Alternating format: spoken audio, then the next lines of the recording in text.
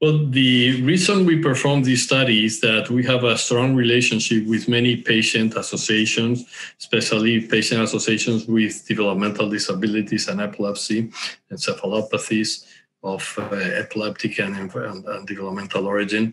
And what we uh, found is that very often parents were stuck with the, the, decision whether withdraw medication in PCDH19 children or keep them on medication. The reason being that most of these children once they are placed in the proper medication, that is usually levetiracetam, but it can be other drugs. Once they are in the proper medication, they remain seizure free for many for, for a long period of time, for years. So at this point, we ask the question: Well, he's been five, six, ten years seizure free. Is it time to withdraw medication?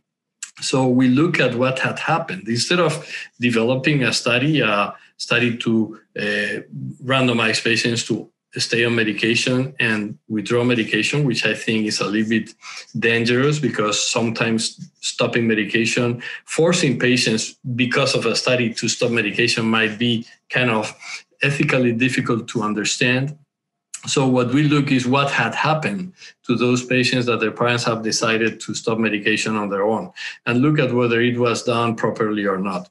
What we found is that there is a very high rate of recurrence of seizures. So uh, we advocate that instead of stopping medication maybe reducing the dose but not stopping it might be a wisest idea. In addition, some patients, once their seizures restarted because of medication withdrawal, uh, they had trouble regaining seizure control again. So I think uh, these kind of studies can be extended to other uh, uh, developmental encephalopathies and other forms of epilepsy. And now we have to focus not in epilepsy in general, but we have to uh, provide precision medicine. And precision medicine is not only about selecting the appropriate drug, but also for a particular disease, but also deciding whether in a particular syndrome uh, withdrawing medication should be done or not. Probably we're going to have different scenarios with different outcomes depending on the different diseases.